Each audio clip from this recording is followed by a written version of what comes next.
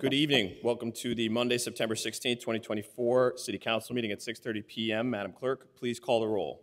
Counselor Ash. Counselor Campbell. Counselor Devine. Counselor DiBona. Present. Counselor Harris. Counselor Liang. Counselor McCarthy. Present. Counselor Minton. President Kane. Present. Counselor Ash. You have nine members now. Thank you, Madam Clerk. Uh, Please stand if you're able for a moment of silence. Please use this moment as you will.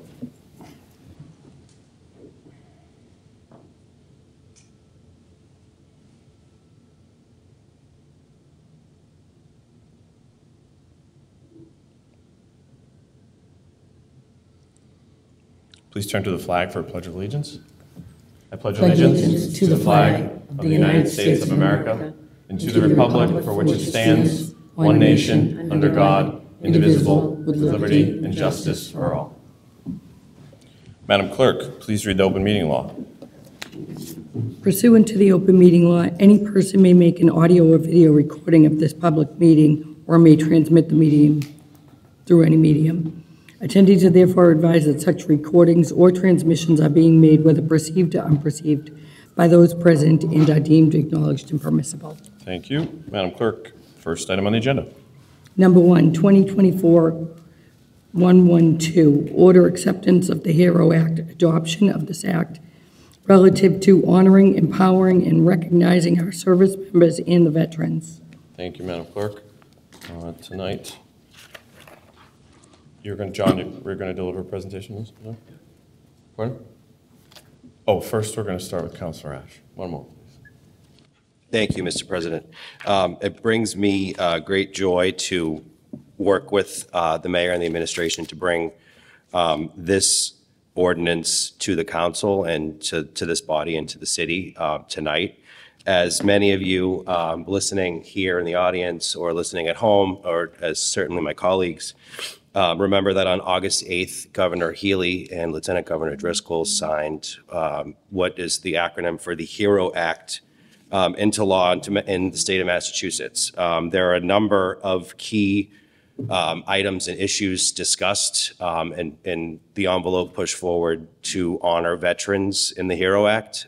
And one of those, which we're going to be discussing and adopting tonight, hopefully, will be um, a tax exemption for veterans. So um, I understand we're going to have um, Director Mason and the financial team go over what that looks like for the city. Um, There are two key citations in the HERO Act that amend Mass General laws um, to provide a um, tax exemption uh, relative to a cost of living increase and also essentially doubling that tax exemption for veterans. So look forward to the discussion.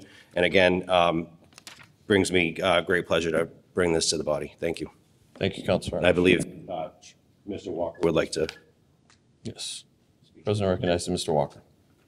Thank you through you, Mr. President. Um, This evening, I first want to thank um, this body over the course of the last many years for its uh, ongoing and really truly unprecedented support of our city's veterans. Um, This group, together with the mayor, um, I don't think there's another community uh, in the Commonwealth that does as much for our veterans uh, than the city of Quincy does. Um, And this is another uh, opportunity for us to uh, do our part. Um, And this council has been uh, with uh, every step of the way on, on that. Um, Hopefully, um, we'll get this implemented this evening. I do want to recognize in the audience tonight our great Veteran Services Director, Christine Cugini. And I'd be remiss if I didn't mention also Governor Healey, Lieutenant Governor Driscoll, our state legislative delegation for making uh, this part of the HERO Act uh, such a priority. Uh, With that, Mr. President, um, we have two presenters to go over the details and then the financial implications to the city for these local options. Uh, We're going to start with Chief Assessor and Chairman of the Board of Assessors, John Rowland, and he'll hand it off to uh, Director of Municipal Finance, uh, Eric Mason. So with your pleasure, your permission, hand it over to Mr. Rowland. Thank you. point.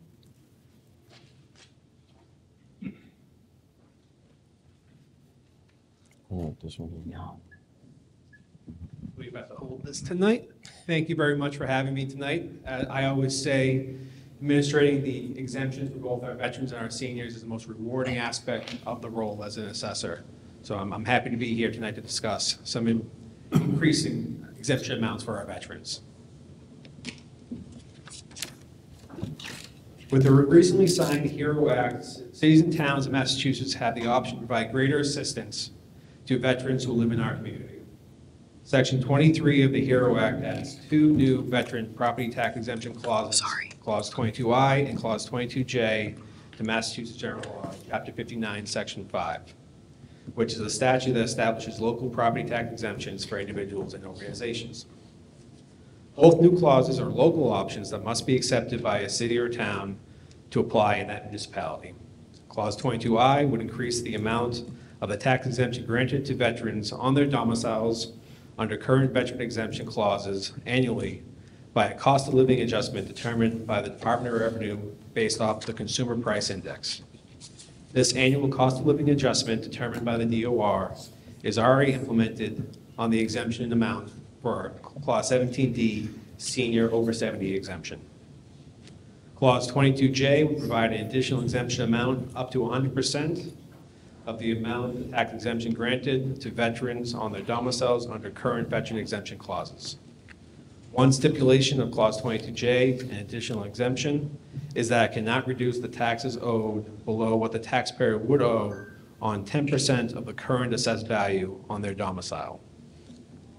The voted percentage would continue to apply in sub- subsequent years unless and until another percentage is voted on by this council. These changes cannot take effect until next year, fiscal 2026. The council order before you tonight will provide the maximum relief allowed under Massachusetts general laws for all veterans who qualify.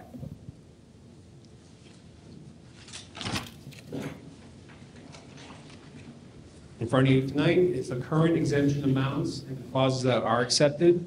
While these amounts will increase, I do encourage anybody watching, I encourage anybody watching at home to review these exemptions to see if they do qualify. Our office is still taking exemption applications, which are due by April 1st of next year. Clause 22 offers a $400 exemption uh, for veterans with a minimum of 10% service connection disability, veterans who award the Purple Heart, and surviving spouses of eligible veterans. Clause 22A offers a $750 exemption to disabled veterans who lost a hand, a foot, or an eye in the line of duty, and veterans who received the Congressional Medal of Honor.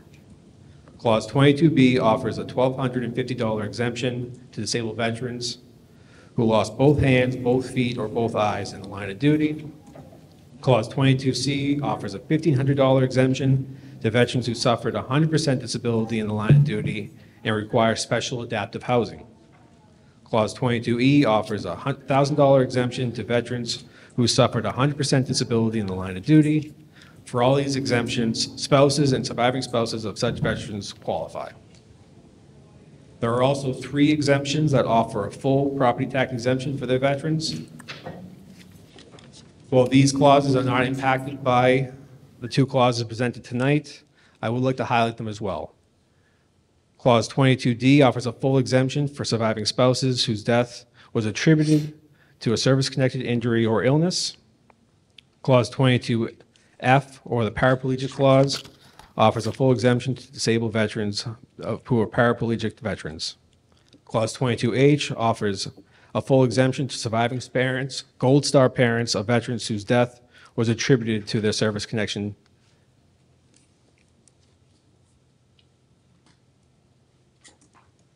The table presented before you shows how Clause 22I and Clause 22J would impact the veteran exemption amounts if they were applied for this year, fiscal 2025.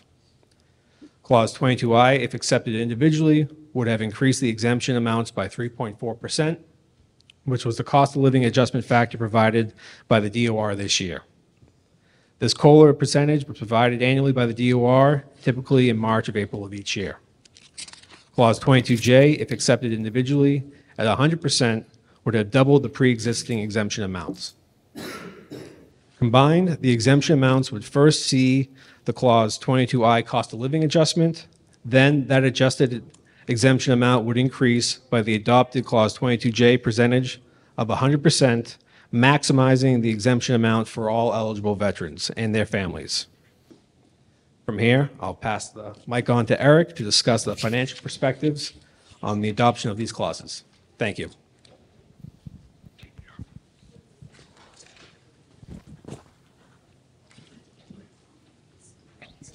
Good evening, council. Uh, So as uh, the chairman said, uh, I'll be covering the financial perspective of the HEROES Act. Um, The HEROES Act, from a financial standpoint, really breaks down to two components. Um, The cost of living increase and the increase in overall exemption. What's important to remember as we run through these numbers is that we will not be counting the current benefit costs, since that's already locked in and the body's not deliberating on that tonight. So uh, we, from a financial perspective, uh, we just are including the uh, parts of the adopted law, or hopefully adopted law. Um, So the total costs between both programs will be $197,000 uh, for next year. Um, That's broken down to 191,000 dollars is from uh, the 100% increase, and the, and 65% will be adjusted from the COLA. So to have that broken down, looking over the next uh, 10 years, th- this program will cost uh, approximately 2.3 million dollars over the next 10 years, which is obviously an average of about 230,000. Uh, the exemption will make up the largest proportional increase at approximately 68%, um, with the COLA making up uh, less than a 2% shift, um, and with current benefits being roughly about 32%. When we talk about the financial impact to the budget, I think that's, uh, you know, kind of, let's say that's largely my role as a finance director is to kind of weigh that out. Um, what's important is that while this is very, very, very impactful to veterans, as this body knows, um, the cost is relatively de minimis to the overall operations of the city itself. Um, we're looking at about, compared to the city budget, it's about a little less than five basis points of our entire budget, and it's less than seven basis points of our entire levy. For, for those who may not be intertwined with the financial lexicon, a basis point is 1% of 1%. Um, so we actually create, have to create a new measurement to be able to talk about that. Um, it's important to remember is that the document, the budget that was already adopted by the council uh, for FY25 is unaffected by this. Um, this will be an FY26 appropriation. And what we will be presenting the council, if this is adopted in FY26, will be a specific line item within the budget uh, for the estimated cost of this program for that fiscal year, and then it will be transferred over to the overlay account. Uh, For those unfamiliar, the overlay account is the funds put aside that are reserved for abatements by the city, and they are administered by the assessor department. Kind of an overview from the financial standpoint of this, of this, of, you know, these two proposals, I should say, is that given the city's current financial position and future financial positions, the HEROES Act does not pose um, anything, you know, material to the operations of the city to adopt, despite it being very material to so many veterans in the city. Three, 311 households will be affected by this positively if adopted. Um, the financial impact is minimal. I will go into effect on the first, if adopted, the first quarter of 2026, fiscal year 2026. So that's July 1st for those who don't speak in fiscal years. Um, And it's important to remember, all the data I put out here is on the projected current enrollment. As uh, the chairman said, and as uh, Chris Walker mentioned, you know, we encourage veterans to explore any options they have. Um, And I'm open to questions if the body so much wants, has any, and it's a station. Thanks, Art. Our president recognizes Counselor Devine. Thank you uh, very much to everybody that brought this up to, uh, for, to be looked at and voted on. Uh, When, when you say domicile, does, does that mean um, where they're living? Like, uh, let's say a veteran's living with their parents, are they able to get this also, even if it's They not? have their- to own and occupy the Oh, they residence. do? Yes. Oh, okay. All right. Thank you.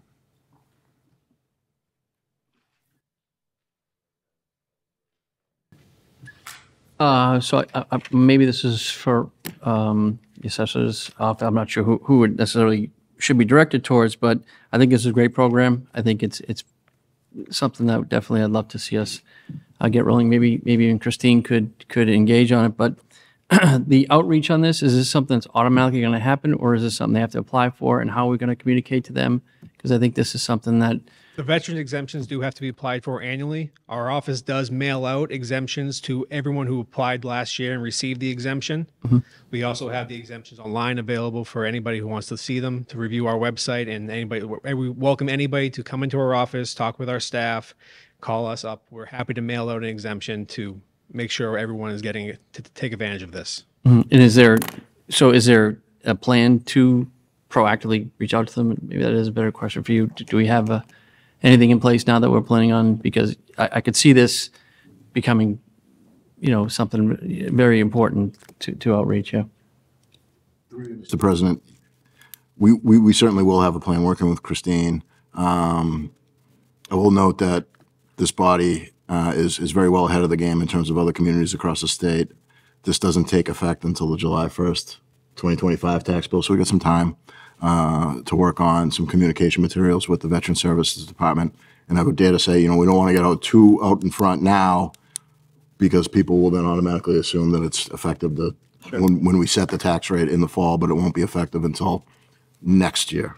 Um, so I would say, you know, first of the calendar year or so, we probably mount um, a campaign with, with Christine's office and getting the word out as best we can uh, to our veterans.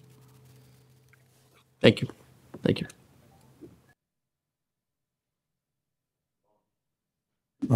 Thank you, Mr. President. Um, Thank you for the presentation and um, the description and, and um, all the avenues of going with this. You know, that basically what it comes down to is the uh, Quincy City Council, the city of Quincy, you know, we prioritize veterans affairs and issues. And, and, and stated in here, um, that I'll also have access to behavioral health treatment, increasing benefits for disabled veterans and codifying medical and dental benefits. We've, we've, we've come a long way um, at the legislation um, in the state, and, and to have it come down into the city of Quincy um, is important. And we've, we've done it within a few months here, uh, a month or so of enactment. So um, happy to support this. Um, I know we, we have to uh, iron through where the funding's going to come from, and thank you for you guys for coming in here tonight and explaining that to the public uh, as well as the other counselors and, and the residents out there and our veterans. And this ultimately we're, we're, we're trying to give more benefits for them. So thank you.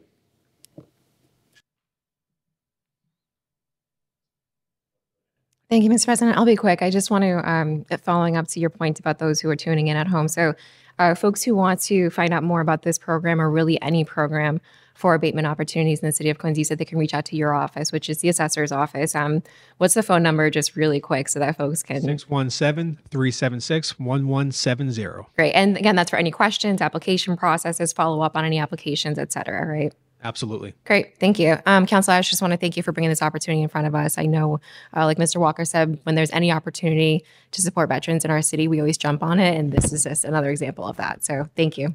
Thank you, Mr. President. Um, Just a quick question. So this act just enabled us to fund the program. There's no funds that come from the state to support this program? This is a local option, so there's no additional state reimbursement on this. Got it. Okay. So uh, I'd be curious, just real quick, uh, what are some other sort of funding opportunities that came from this HEROES Act from the state? Or is it just sort of enablement of cities and towns to support through their own funding mechanisms? In terms of the exemptions, there are no additional state reimbursements for property tax exemptions. The motor vehicle exemptions, the changes in that are state reimbursed. Got it. Okay, great. On that, happy to entertain a motion. Motion approved, Counselor Liang, seconded by Counselor DiBona. Madam Clerk, please call the roll. Counselor Ash. Yes. Counselor Campbell. Yes. Counselor Devine. Yes. Counselor DiBona. Yes. Counselor Harris. Yes. Counselor Liang. Yes. Counselor McCarthy. Yes. Counselor Minton. Yes. President King. Yes. Nine members. Thank you, Madam Clerk. Thank you very much. Um, Madam Clerk, next item, please. Number two, 2024-113, ordinance amending municipal code, chapter 274, sex offenders. The President recognizes Counselor Ash.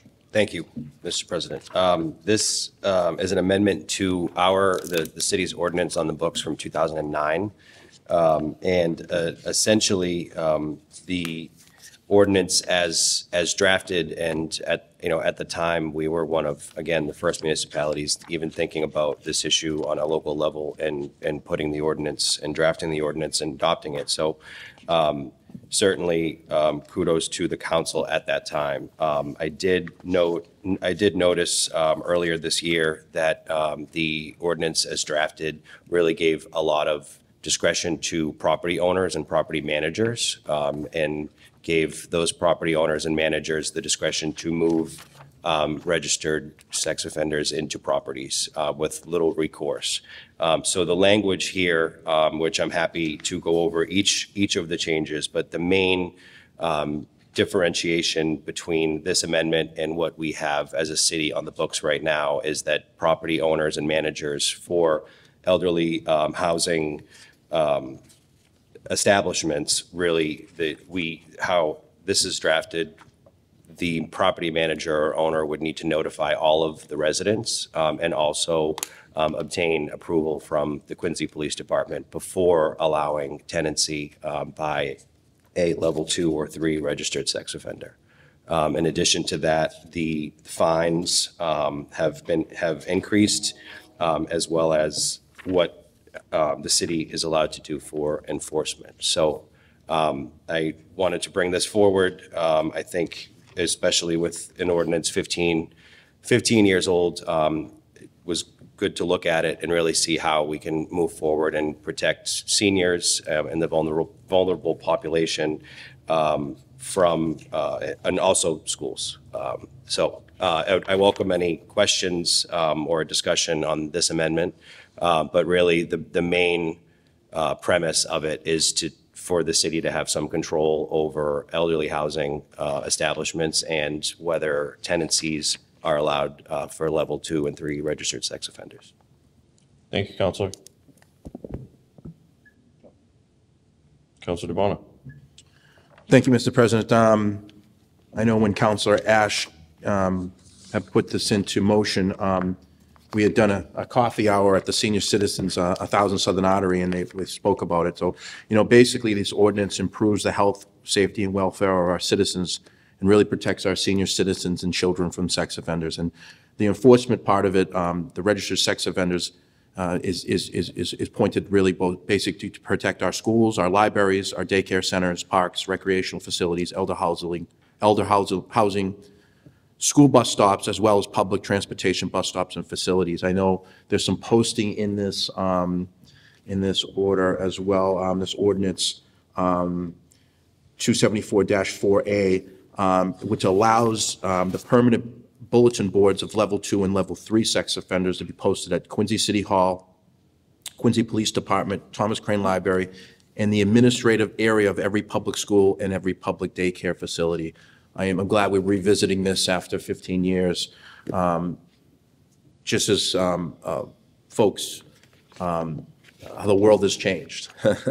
And um, revisiting this and and putting this into some type of amendment and ordinance here in the city of Quincy is important. So um, at the end of the day, it's, it's protecting our citizens as well as our elderly, our senior citizens, and our, and our children.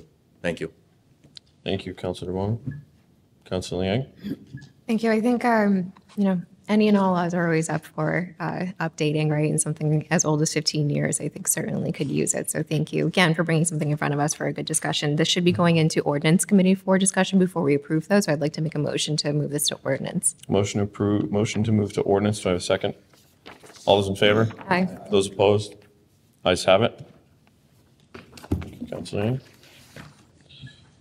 Okay, uh, Madam Clerk, next item, please. Number three, 2024-114, a gift for $700 for various donors from Dear in memory of Sergeant John Ryan. Motion approved, made by Counselor DiBona, seconded by Counselor McCarthy. Madam Clerk, please call the roll. Counselor Ash. Counselor Campbell. Yes. Counselor Devine. Yes. Counselor DiBona. Yes. Counselor Harris. Yes. Counselor Liang. Yes. Counselor McCarthy. Yes. Counselor Minton. President Kane. Yes. Nine members. Thank you. Next item, please. Number four, 2020-115, a gift for $50 from Heather Sargent for Police Officers Assistant Program. Uh, Motion approved, made by Counselor DiBona, seconded by Counselor McCarthy. Madam Clerk, please call the roll. Counselor Ash. Counselor Campbell. Yes. Counselor Devine. Counselor DiBona. Yes. Counselor Harris. Yes. Counselor Liang. Counselor McCarthy. Counselor Minton. President King. Yes. Nine members. Thank you, Madam Clerk. That concludes our regularly scheduled agenda items. Approval of previous meeting minutes. Motion approved made by Counselor Yang, seconded by Councilor Campbell. All those in favor? Those opposed? Ayes have it. Communications and reports from the mayor, other city officers and city boards, seeing none. Unfinished business and preceding meeting, seeing none. Reports of committees, seeing none. Presentation of petitions, memorials, and remonstrance. Councilor Ash. I'd uh, like to take a moment um, and mention the, uh, and and pay tribute to Leo J. Del Vecchio. Um, Mr. Del Vecchio, the Del Vecchio family is um, a very, uh, is a large, well-known family in Penns Hill. Um, They, uh, they seemingly, they almost monopolize a a couple of streets up there, and they're uh, a wonderful family, great people to know. Uh, Mr. Leo J. Delvecchio passed away on Saturday, September 14th, at age 86. Um, He was born in Quincy, um, and he graduated from Quincy High Trade School, class of 1956. Uh, Mr. Delvecchio was an associate of the American Society of Plumbing Engineers for over 20 years, um, after working at Norfolk Mechanical of Weymouth for about eight years. He was a lifelong active parishioner at St. John the Baptist Church in Quincy, where he volunteered for the food pantry. Um, Along with his wife Marilyn, Leo ran the South Shore Bank Golf League at the Rockland Golf Course for many years. He enjoyed crafts and puzzles, was an avid reader, enjoyed gardening and working on his home, as well as many trips to Disney World over the years. Uh, Beloved husband for 63 years of Marilyn A. D'Angelo Del Vecchio, um, devoted father to Leanne Arthur and her husband Paul of Marshfield, Michelle Bickford and her husband Fred of Norwell, um, grandfather to many, and um, I really want to extend my condolences to the Del Vecchio family and mention um, for all interested in paying their respects, um, visiting hours are Friday, um, September 20th from 4 to 7 at Dolan Funeral Home in East, in East Milton, and a mass of Christian burial at St. John's, 44 School Street, Saturday morning at 10 o'clock. Thank you. Thank you, Counselor Ash. Okay, uh, motions, motions, orders, and resolutions. Seeing none, and scheduling of committee meetings and public hearings. Our next meetings will be on Monday, October 7th. We have a utility public hearing at 6:30, followed by an ordinance committee meeting at 6:45, followed by a regular city council meeting at 7:30 PM. On that, I'll entertain a motion to adjourn made by Counselor Liang, seconded by Counselor Vaughn. All those in favor? Those opposed? Have a good night.